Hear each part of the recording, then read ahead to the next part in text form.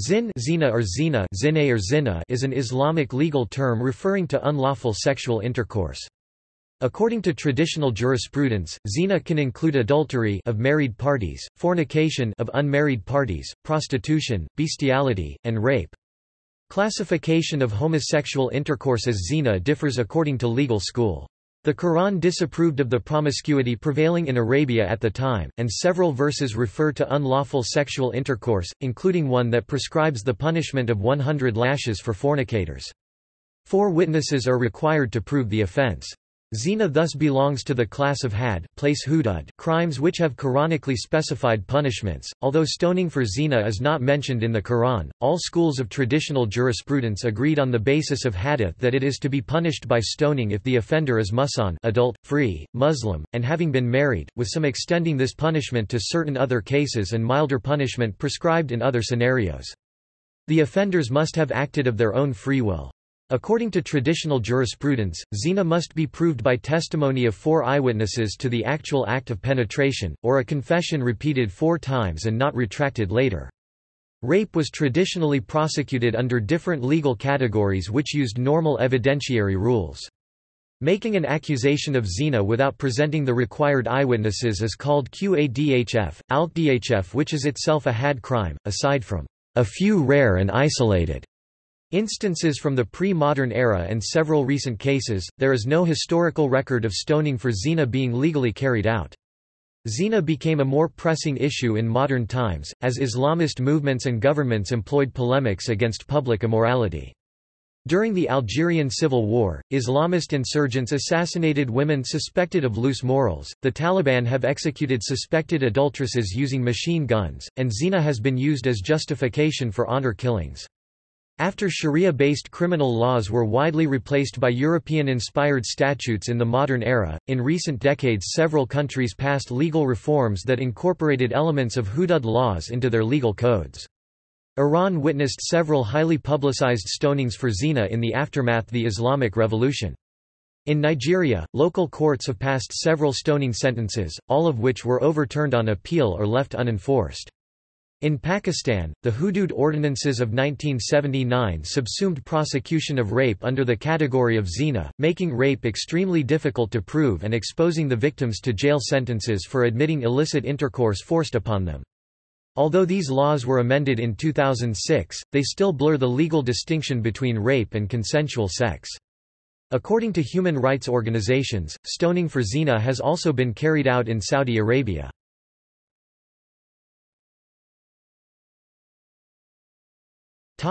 Islamic scriptures Muslim scholars have historically considered zin a hudud sin, or crime against God. It is mentioned in both Quran and in the Hadiths.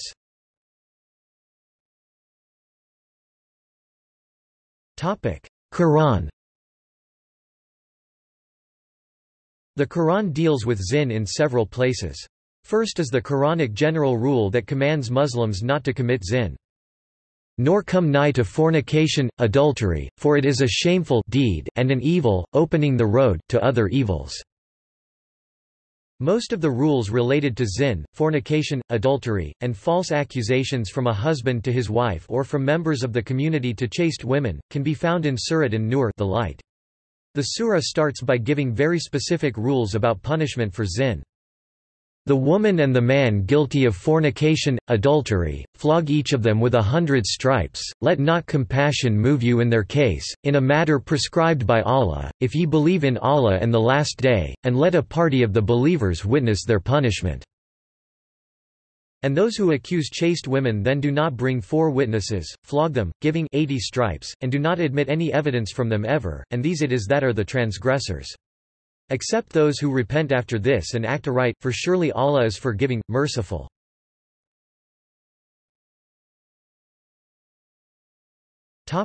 Hadith In hadiths, the books most trusted in Islam after Quran, the definitions of zina have been described as all the forms of sexual intercourse, penetrative or non-penetrative, outside lawful marriage. Abu Huraira reported Allah's apostle as saying, Allah has decreed for every son of Adam his share of zina, which he will inevitably commit. The zina of the eyes is looking, the zina of the tongue is speaking, one may wish and desire, and the private parts confirm that or deny it.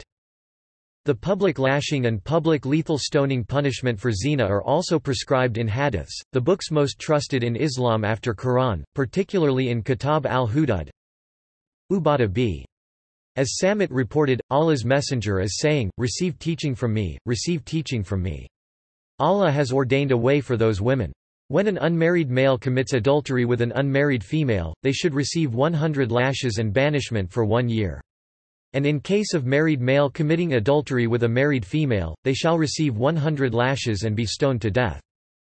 Allah's messenger awarded the punishment of stoning to death to the married adulterer and adulteress and, after him, we also awarded the punishment of stoning. I am afraid that with the lapse of time, the people may forget it and may say, We do not find the punishment of stoning in the Book of Allah, and thus go astray by abandoning this duty prescribed by Allah. Stoning is a duty laid down in Allah's book for married men and women who commit adultery when proof is established, or if there is pregnancy, or a confession. Ma'iz came to the Prophet and admitted having committed adultery four times in his presence so he ordered him to be stoned to death, but said to Huzal, If you had covered him with your garment, it would have been better for you. Hadith Sahih al-Bukhari, another authentic source of sunnah, has several entries which refer to death by stoning. For example, Narrated Aisha, Utba bin Abi Waqqas said to his brother Sa'd bin Abi Waqqas, the son of the slave girl of Zama is from me, so take him into your custody." So in the year of conquest of Mecca, Sa'd took him and said, This is my brother's son whom my brother has asked me to take into my custody. Abid bin Zama got up before him and said, He is my brother and the son of the slave girl of my father, and was born on my father's bed. So they both submitted their case before Allah's apostle. Sa'd said, O Allah's apostle! This boy is the son of my brother and he entrusted him to me." Abid bin Zama said, "This boy is my brother and the son of the slave girl of my father, and was born on the bed of my father." Allah's apostle said, "The boy is for you, O Abid bin Zama." Then Allah's apostle further said, "The child is for the owner of the bed, and the stone is for the adulterer." He then said to Sauda bin Zama, "Veil screen yourself before him." When he saw the child's resemblance to Utba.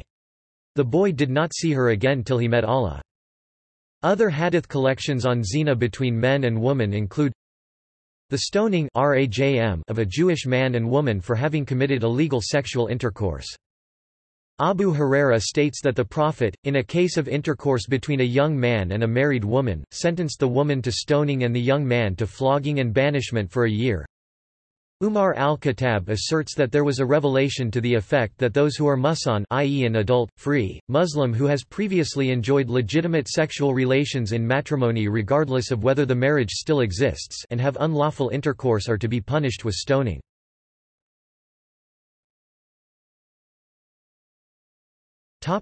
Rape and zina Few hadiths have been found regarding rape in the time of Muhammad. The most popular transmitted hadith given below indicates the ordinance of stoning for the rapist but no punishment and no requirement of four eyewitnesses for the rape victim. When a woman went out in the time of the Prophet for prayer, a man attacked her and overpowered raped her. She shouted and he went off, and when a man came by, she said, that man did such and such to me.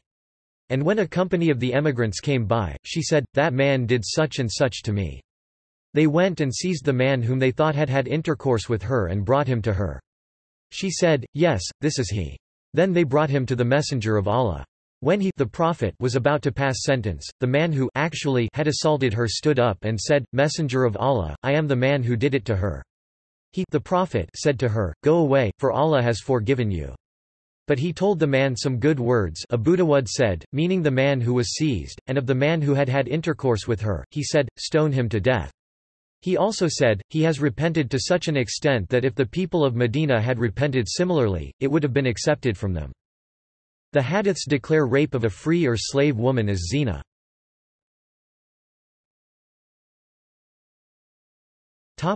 View of scholars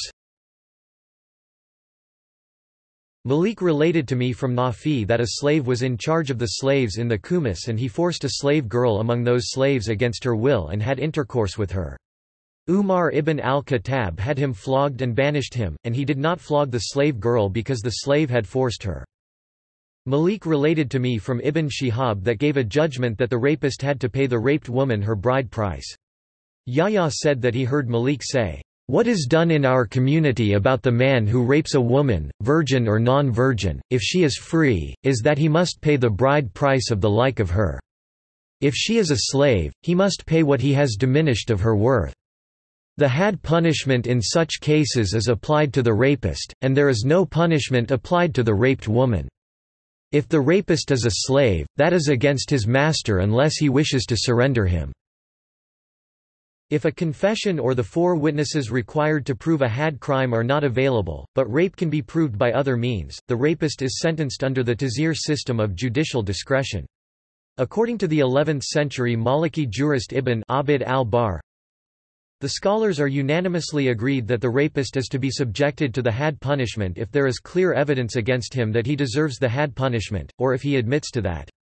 Otherwise, he is to be punished i.e., if there is no proof that the had punishment for zina may be carried out against him because he does not confess, and there are not four witnesses, then the judge may punish him and stipulate a punishment that will deter him and others like him.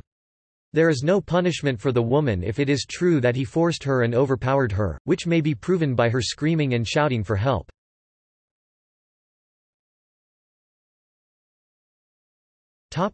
Homosexuality and zina Islamic teachings in the Hadith tradition presume same-sex attraction, extol abstention and in the Quran condemn consummation. The Quran forbids homosexual relationships in Al-Nisa, Al-Araf, verses 7 to 80-84, 11 to 69-83, 29 to 28-35 of the Quran using the story of Lot's people and other surahs. For example, We also sent Lot, he said to his people, Do ye commit lewdness such as no people in creation ever committed before you? For ye practice your lusts on men in preference to women, ye are indeed a people transgressing beyond bounds." In another verse, the statement of Prophet Lot has been also pointed out, Do you approach males among the worlds and leave what your Lord has created for you as mates? But you are a people transgressing. Some scholars indicate this verse as the prescribed punishment for homosexuality in the Quran. If two men among you are guilty of lewdness, punish them both. If they repent and amend, leave them alone, for Allah is oft returning, most merciful. However, there are different interpretations of the last verse where who the Quran refers to as two among you. Pakistani scholar Javed Ahmed Ghamidi sees it as a reference to premarital sexual relationships between men and women. In his opinion, the preceding ayat of Surah Nisa deals with prostitutes of the time. He believes these rulings were temporary and were abrogated later when a functioning state was established and society was ready for permanent rulings, which came in Surah Nur, ayat 2 and 3, prescribing flogging as a punishment for adultery. He does not see stoning as a prescribed punishment, even for married men, and considers the hadiths quoted supporting that view to be dealing with either rape or prostitution, where the strictest punishment under Islam for spreading fasad fil arz meaning mischief in the land, referring to egregious acts of defiance to the rule of law was carried out. The hadiths consider homosexuality as zina, and male homosexuality to be punished with death. For example, Abu Dawud states, Narrated Abdullah ibn Abbas, the Prophet said, If you find anyone doing as Lot's people did, kill the one who does it, and the one to whom it is done. Narrated Abdullah ibn Abbas, If a man who is not married is seized committing sodomy, he will be stoned to death. The discourse on homosexuality in Islam is primarily concerned with activities between men. There are, however, a few hadith mentioning homosexual behavior in women. The jurists are agreed that there is no had punishment for lesbianism, because it is not zina. Rather a tazir punishment must be imposed, because it is a sin.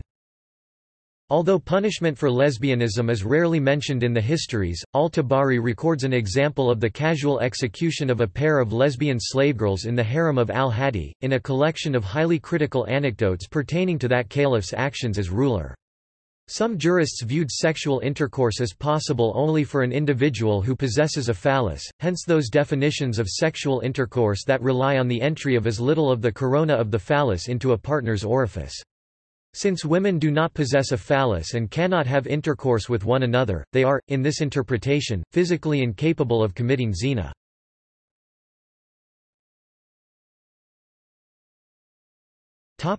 Inclusions of the zin definition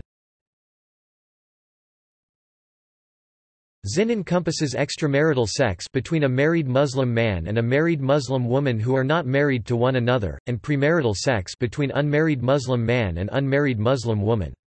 In Islamic history, zina also included sex between Muslim man with a non-Muslim female slave, when the slave was not owned by that Muslim man. Technically, zin only refers to the act of penetration, while non-penetrative sex acts outside of marriage were censored by the Prophet as that which can lead to zin. Sharia, in describing zina, differentiates between an unmarried Muslim, a married Muslim and a slave ma malakat aymanukum. The second one must be lethally stoned while an unmarried Muslim and a slave must receive public lashing, and for a slave, the lashing count is half of an unmarried Muslim.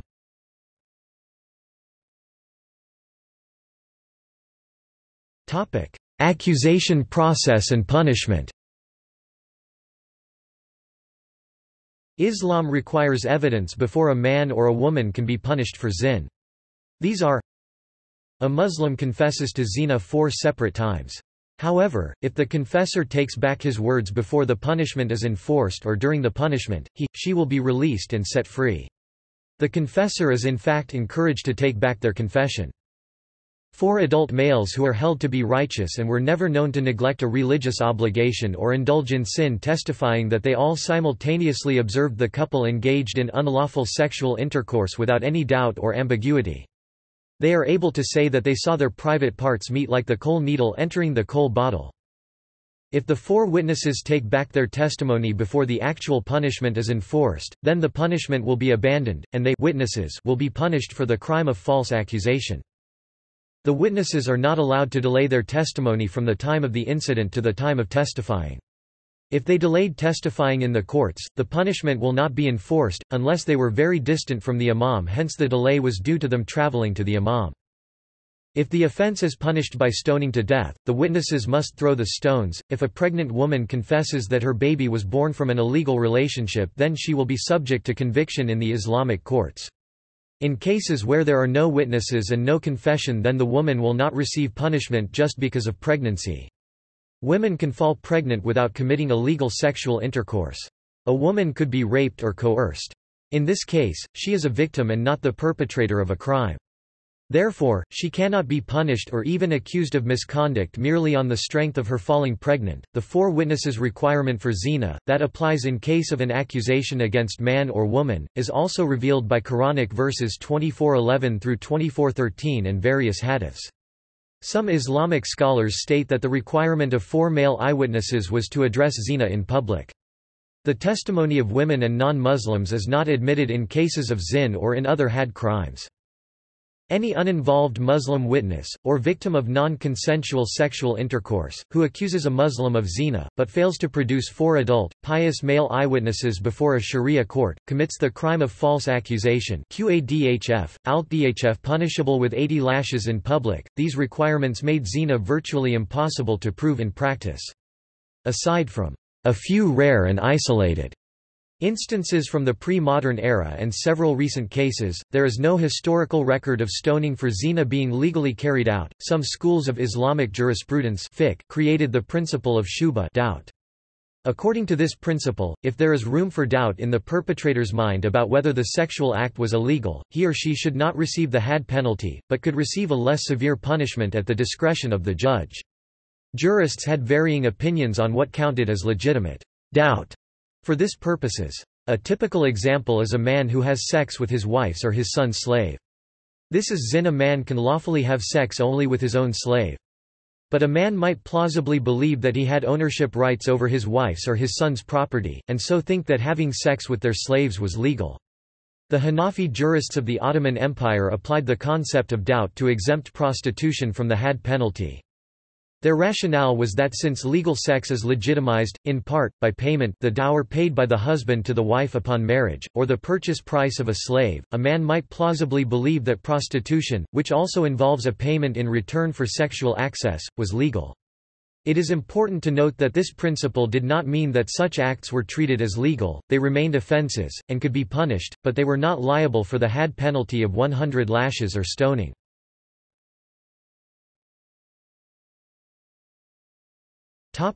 Sunni practice All Sunni schools of jurisprudence agree that zin is to be punished with stoning to death if the offender is a free, adult, married or previously married Muslim Persons who are not musan i.e. a slave, a minor, never married or non-Muslim are punished for zin with 100 lashes in public. Maliki school of Islamic jurisprudence considers pregnancy as sufficient and automatic evidence, unless there is evidence of rape. Other Sunni schools of jurisprudence rely on early Islamic scholars that state that a fetus can sleep and stop developing for five years in a womb, and thus a woman who was previously married but now divorced may not have committed zina even if she delivers a baby years after her divorce. They also argue that the woman may have been forced or coerced see section above, accusation process and punishment. The position of modern Islamic scholars varies from country to country. For example, in Malaysia which officially follows the Shafi'i fiqh, section 23 through 23 of the Syariah Sharia Criminal Offences Federal Territories Act 1997 state Section 23 2 Any woman who performs sexual intercourse with a man who is not her lawful husband shall be guilty of an offence and shall on conviction be liable to a fine not exceeding 5,000 ringgit or to imprisonment for a term not exceeding three years or to whipping not exceeding six strokes or to any combination thereof. Section 23 3 The fact that a woman is pregnant out of wedlock as a result of sexual intercourse performed with her consent shall be prima facie evidence of the commission of an offence under subsection 2 by that woman. Section 23 4 For the purpose of subsection 3, any woman who gives birth to a fully developed child within a period of six Qamariyah months from the date of her marriage shall be deemed to have been pregnant out of wedlock. Minimal proof for zin is still the testimony of four male eyewitnesses, even in the case of homosexual intercourse, prosecution of extramarital pregnancy as zin, as well as prosecution of rape victims for the crime of zina, have been the source of worldwide controversy in recent years.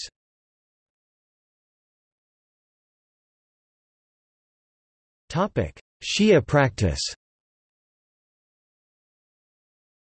Again, minimal proof for zin is the testimony of four male eyewitnesses. The Shias, however, also allow the testimony of women, if there is at least one male witness, testifying together with six women. All witnesses must have seen the act in its most intimate details, i.e. the penetration like a stick disappearing in a kohl container, as the fiqh books specify. If their testimonies do not satisfy the requirements, they can be sentenced to 80 lashes for unfounded accusation of fornication If the accused freely admits the offense, the confession must be repeated four times, just as in Sunni practice. Pregnancy of a single woman is also sufficient evidence of her having committed zina.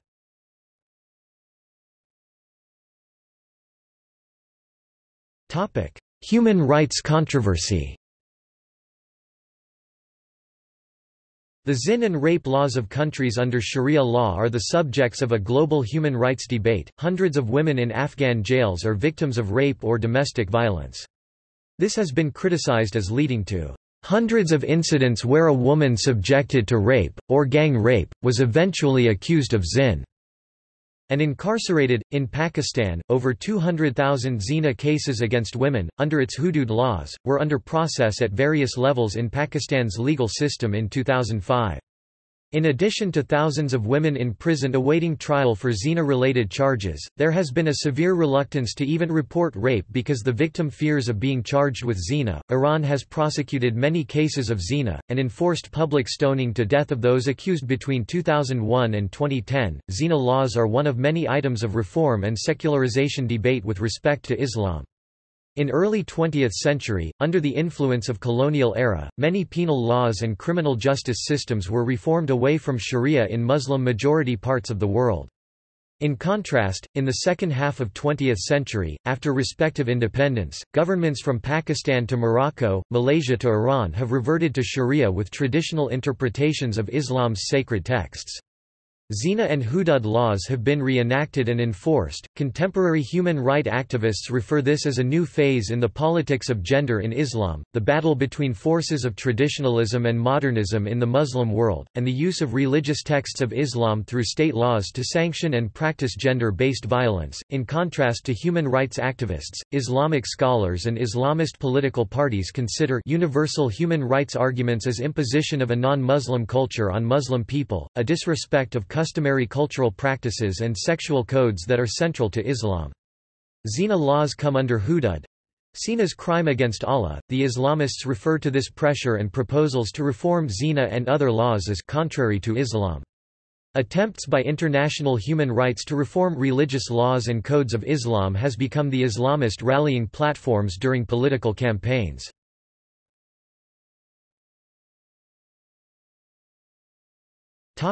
See also Islamic criminal jurisprudence Islamic sexual jurisprudence Namus Nikah Muta Nikah Urfi Ma Malakat aymanukum and Sex Rajm Repentance in Islam Sex and the Law